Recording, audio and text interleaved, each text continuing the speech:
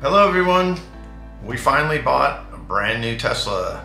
Tesla Model Y, long range, all-wheel drive dual motor. Uh, it's our first plug-in fully electric vehicle that we've owned. Cindy had a Lexus CT 2000 number of years ago that was a hybrid, not plug-in. So now we're fully on board with that. And in the process, those of you that haven't bought a Tesla before, there's some things we learned. We did a lot of research and there were still a couple things that uh, we either didn't know or we think that it may not be completely evident and we want to share those things with you. So uh, without getting into it uh, too much more, we'll just cut right to some of these things that we learned. The first thing was just the process. Super easy, super simple. There's not a lot. When you look at a Tesla, you know what model it is pretty pretty easily if you've seen a few Teslas. Uh, there's the Model S, the Model 3, the Model X, the Model Y. You can kind of spell out the word that that looks like from there, but and by no uh, accident, right? So the price doesn't vary much. There's a very few options you can get. The biggest one really being the color. It comes, the Model Y anyway, and I think the Model 3, comes in white. If you want a different color, absolutely, there's a few choices, you just pay. So it's like a $1,000. Uh, we also got a built-in trailer receiver hitch for our adventures and we can take our bike rack and, and take that, uh, put that on there and that's another thousand dollars, which really is about what it would cost to have somebody mount one properly, buy it and mount it properly on your car. So we went with that, and then um, the other option that Cindy got for her was the performance wheels. You know, they, they're flat black. They look really cool. She liked those, so we got that as well. But that's it. I mean, usually they're you go to a car dealership with all the packages of you know, the stereo system. And all that's just standard. So it makes the process really simple and there's no haggling. So it didn't come out like, oh, we got a deal on this. You know what that person in the Tesla paid for their car. That's just how that works. And it actually is quite nice compared to other car buying experiences. One other thing that we didn't get was the, uh, the self-drive, which is $10,000 option. You can get it anytime after you buy the car. They'll actually just kind of upload it to your car. It's a software thing. Um, it has autopilot that comes with it. And from our friends, they say it really is just a little bit more for the self-drive. And, and we are not the type that really want to fall asleep and let the car do everything for us. Uh, so it's really just kind of fancy cruise control uh, the way it is now, but better than their standard cruise control. So there's that. So that process ended with getting the car. And that part of the process was contactless. They basically said, hey, your car's here's a VIN number. So we set up the insurance and they said, okay, it's delivered. Now you can fill out the rest of your paperwork. Cindy went and uh, paid for the rest of the car. And then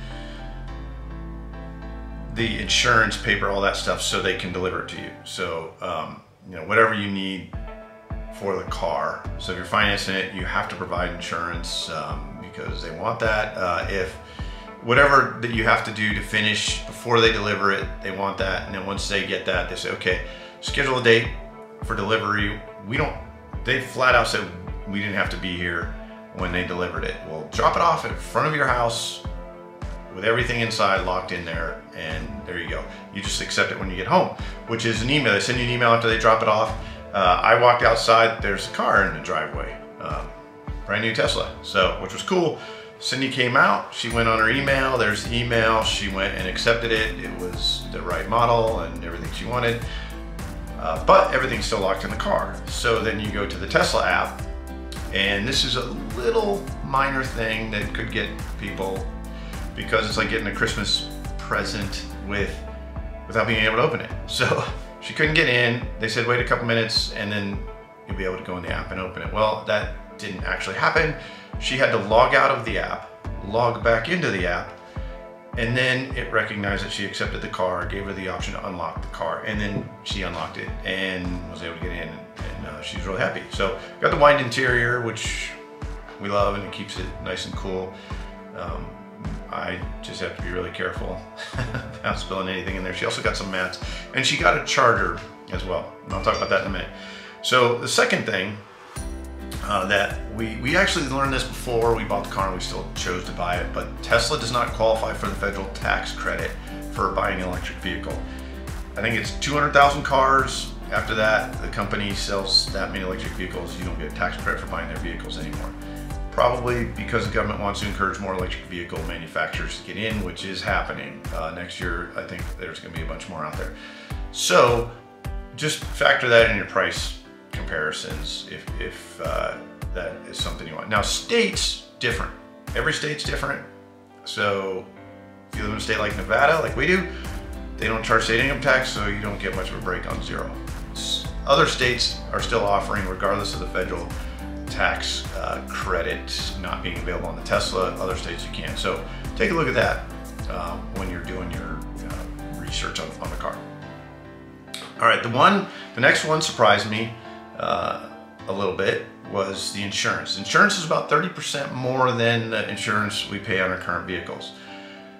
So I, I couldn't totally understand why. Um, I, I, maybe the repair costs are really high with all those batteries. If it gets in an accident, I don't know.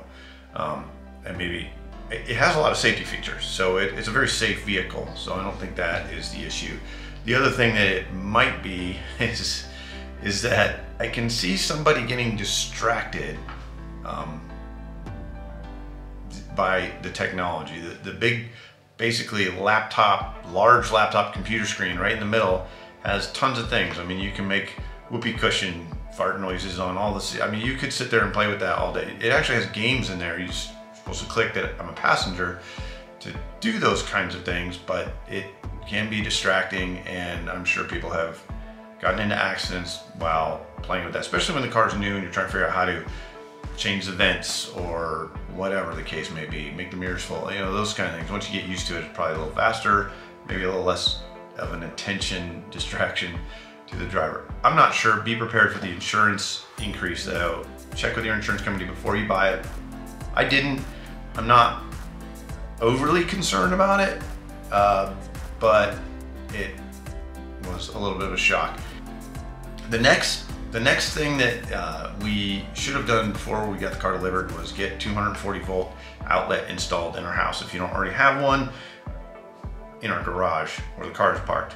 It, and the Model Y is on the back left side, just so you know if you're looking for a place to put it. But the uh, 120 volt that comes with it, plug it right into your, you know, grounded outlet and it delivers us a whopping five miles per hour of charge, which is not enough.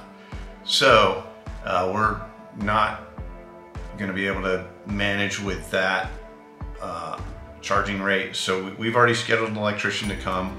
Uh, we have an adapter, so really all you need from the Tesla store, it plugs into the existing uh, charging cable that comes with the car, and then it's got a 240 volt uh, plug on the other end and you just plug it in there. Now you could get this very fancy looking Tesla charging stand um, and it, it, would look nice in your garage, takes up more space, but it look nice in your garage and it will charge at 240 volt, but it just looks a little nicer than just plugging it into the wall. So if you're into that, you know, it says Tesla on it and everything else. Um, now the supercharging stations, I've heard, you know, they, if you're low, they start at like 600 miles an hour, and then so you can charge. Uh, they start to slow down as you get more charge.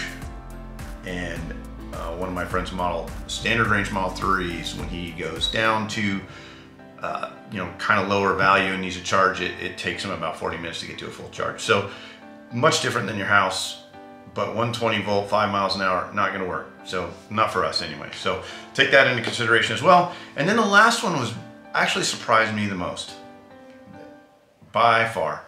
This great technology that Tesla puts into these vehicles. I mean, you know, the software uploads, they have a dog mode where you just click that and it blows fan air into the car. while you're not in it.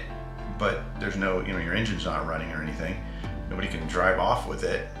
Uh, you just, it just blows cool air in there. You could do that for yourself. So it's cool when you get back. Obviously you're using some electricity, but uh, it's kind of a nice feature. Um, doesn't have ventilated seats, by the way, but that wasn't the one. The big one is the fact that it, when we tried to sync it to our garage door opener, well, there was no way to do that. Cindy then learned through a tutorial that you schedule a service appointment with Tesla, you take it in, they install something, and then they charge you a monthly fee for this HomeLink uh, connection. Now it probably does more than just your garage door if you have one of those super connected houses where um, Big Brother runs your house, but we don't. I mean, we have a few things, but nothing that fancy. And But we do have a garage door opener that uses, you know, it's like any other automatic garage door opener, uh, some kind of signal to open it. Can't do that unless you get this installed and then pay a monthly fee. I refuse to pay a monthly fee to open my own garage in the house that I own. So not gonna happen. We use the old school handheld remote that goes in the center console and we're just gonna go with that. Still kind of surprising. So just a few things. With all of that, we love the car. We absolutely love it. It is the funnest car to drive. We just, we just love driving that car and we love the, you know, fact that we don't have to go to gas stations and we're not polluting the environment much and or less, I should say. And then the other thing that we love, and it's Ready? super fast. It Ready? accelerates Watch. zero to We're gonna go, what is it called? more fast, faster than. We're gonna uh, go, what is it, plaid? Now, I, we also have a 700 horsepower Ford F-150 Shelby off-road vehicle that is also super fun to drive for different reasons. But it kills dinosaurs, it uses premium unleaded, and it it, uh, it really is not a daily driver. It's great off-road, really fun, but on the road, by far, we absolutely love the Tesla and we're super excited to take it on road trips. And then Cindy driving it to work, doing her business uh, day to day. So we'll have this thing on road trips. Uh, please stay tuned. Hit this, uh, the subscription button, hit the notifications. You'll know when we post our next videos. Our next videos, we have two trips that we just took.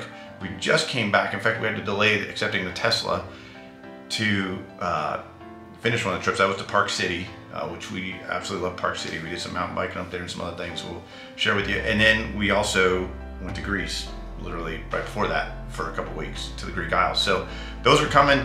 Uh, hit the notifications, you'll get notified when we post those. And until next time, we'll see you.